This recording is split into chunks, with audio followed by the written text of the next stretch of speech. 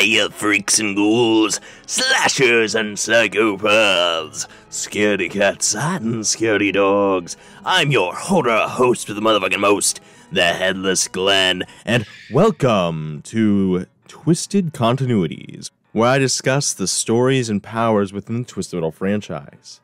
This is kind of an episode of Graveyard Grumblings, sort of, anyways. And man, it's been a while since he. I mean, rather, since I posted, so hopefully I'm going to pick up the slack around here. What?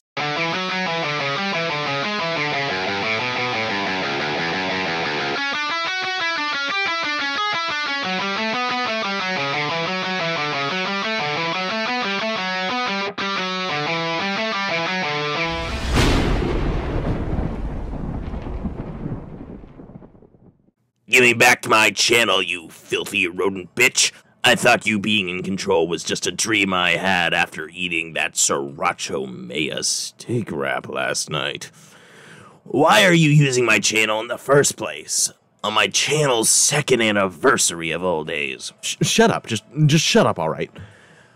Jeez. Back on topic, a couple Twisted Metal trailers came out a little bit ago and weren't particularly great. In fact, I say they were downright unfunny and uninspired, lacking all aspects one generally associates with the series. That coupled with the fact Glen, I mean, along with the fact I actually scaled the Versa a while back, made me feel like it was best not to just cover the story, but the powers of this franchise as well. You lying little. For starters, this will be a video series, as the intro suggested, titled Twisted Continuities, going through the franchise's different canons in terms of story as well as power, because unlike what Death Battle and Versus Battle Wiki think, the different canons matter when in regards to the power of the franchise as a whole, not to mention the characterization of the contestants. I also won't be covering Small Brawl, at least not initially, given that while I find it somewhat interesting, there isn't enough I personally find notable in terms of scaling or story. If I had to, I guess it was from street level to wall level in terms of power, and then the story is just pretty straightforward. What about completion, Ral? You lazy fuck. Hell, if you just give me back control, I'll do it. What do you know about completion, Glen? Your first episode of Graveyard Grumblings was to tell people you weren't going to cover. You know what? Why am I even talking to you? For this video and the consecutive videos, I will not be going over Calypso in terms of power, at least where it isn't necessary, as I definitely would need an entire video to cover just him and his incarnations alone. These episodes, unless stated otherwise, will be specifically covering the power of the contestants. With that being said, let's discuss the continuities we will be discussing in this series, before we start hearing more from people who should no longer be there. Bitch! I will go ahead and get out of the way what I consider the realities that each of these games take place in. These, in chronological order, are the classic continuity, the black continuity, the head-on continuity, and the 2012 continuity. Starting with the first continuity within the franchise, we have what I call the classic continuity, which is what we are covering in the next video of this series. For the classic continuity, we have the first four games ever released for the franchise, that being Twisted Metal, Twisted Metal 2, Twisted Metal 3, and Twisted Metal 4.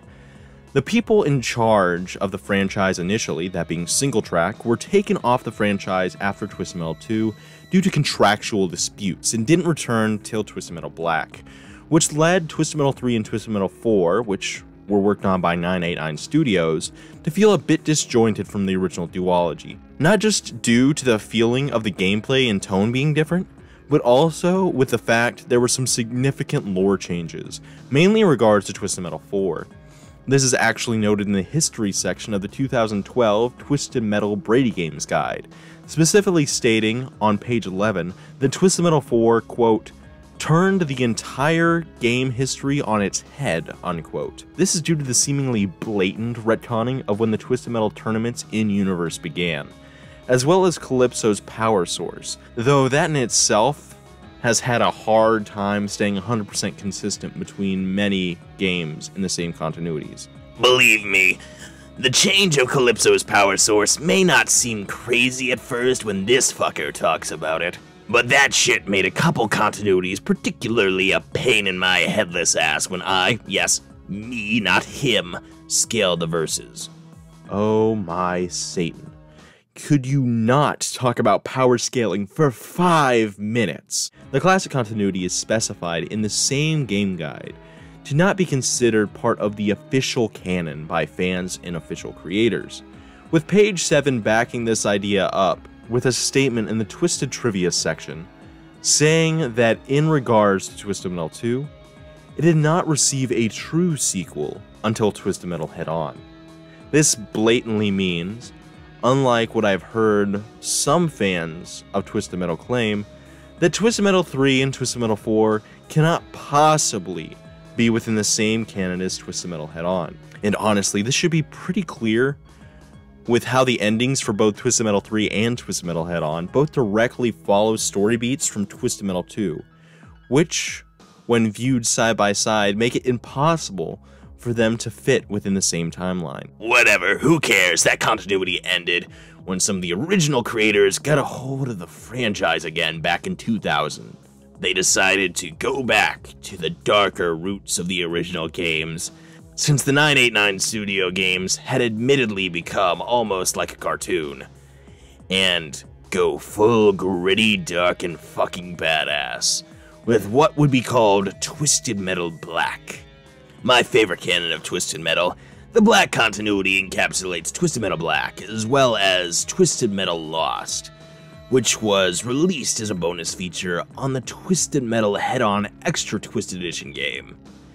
It also has some flash animations that are dubiously canon. Lost, while not being a complete game with endings, does follow the story beats from Black with bios of characters referencing motivations and endings from Black. Interestingly enough, Twisted Metal Black is stated in the Sweet Tour mode of Twisted Metal Head On to be a more realistic version of the series when compared to the other games of the franchise. The 2012 Twisted Metal Brady Games Guide again covers the history of the franchise, with page 12 and 13 discussing Twisted Metal Black.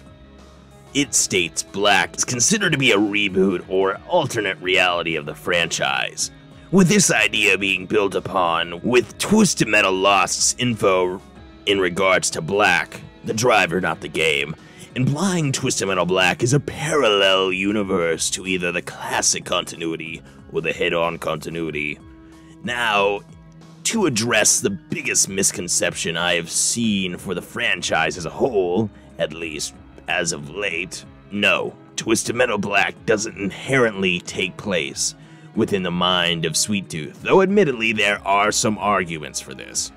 Though I do believe there are ways to explain away most of the arguments, or recontextualize them into a more interesting idea. Well, that will have to be covered in the Twisted Metal Black video. We can't be going on forever now, can we? With the talk of alternate realities, that leads us nicely into the widely considered canonical continuation of the story created in Twisted Metal and Twisted Metal 2. As in 2005, a new game titled Twisted Metal Head On was released. Wait, wait, wait, wait. You seriously are going to ignore Small Brawl, huh? Figures. Whatever, Body Snatcher, I'll cover it. That won't be necessary. Released in the same year as Twisted Metal Black, Twisted Metal Small Brawl, as the continuously mentioned game guide puts it, was the reimagining for a younger demographic, being the yin to Twisted Metal Black's yang. The Small Brawl continuity is a one shot following a group of kids in an RC car competition to win a prize from the local bully Billy Calypso.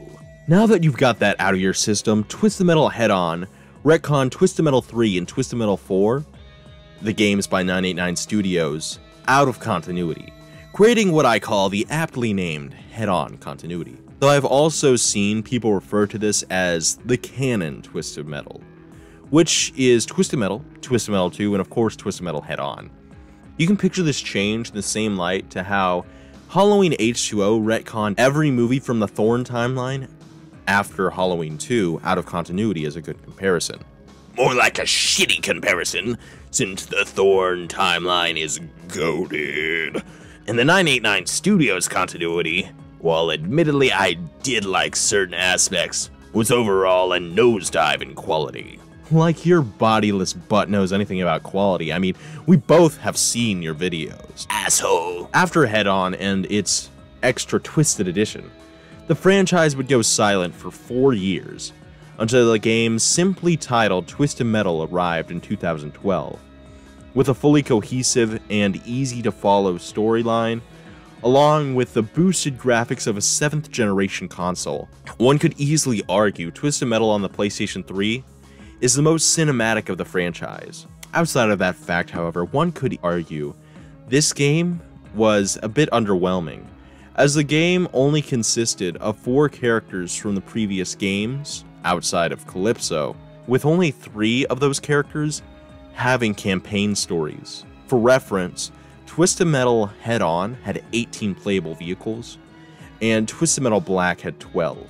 This would be like if Mortal Kombat 1 were to come out, and the only notable characters were God Liu Kang, Human Raiden, Kung Lao, Sub Zero, and Scorpion, with only Kang, Zero, and Scorpion being playable in the story mode, and God Liu Kang is unplayable.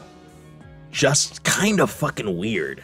The version of Sweet Tooth from the game is the version that appears within PlayStation All Stars Battle Royale, though unlike God of War, I'm pretty sure All Stars isn't canon to Twisted Metal. Finally, at the end of the road, we have Twisted Metal the show. Which looks like hot wet ass, but hey, I'm gonna still watch it, assuming this asshole leaves by that time. That ain't gonna happen, buddy. To keep it short, since this video has been going on for far too long at this point, mainly due to the fact someone won't let their consciousness disappear. Hey! This series, Twisted Continuities, is mainly to inform the viewer not only of the lore and story of the Twisted Metal continuity, but to explain the power of each as well. This series will go through the series chronologically, from the classic continuity to the 2012 continuity. Hopefully, I can wrestle this channel back from this weasel so you don't have to listen to his annoying ass voice. While I ain't no angel, I am compared to. Anyway, if you want to keep up with a series of videos, as well as anything that may be made in between each of these, likely scaling of various verses, then please like and subscribe. Also, share this video with your mother and your boss and see how long it takes for them to get a fucking reaction. If they do, it's this guy's fault. Wait, why is the camera... Alright, everyone. I think this is time to finish the video. Whatever this fucker says, ignore his ass. Stay frosty, you fucks. I am the Headless Glen, and I thank you for watching Twisted Continuities.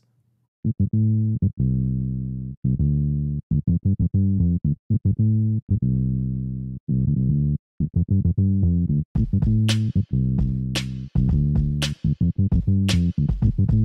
you.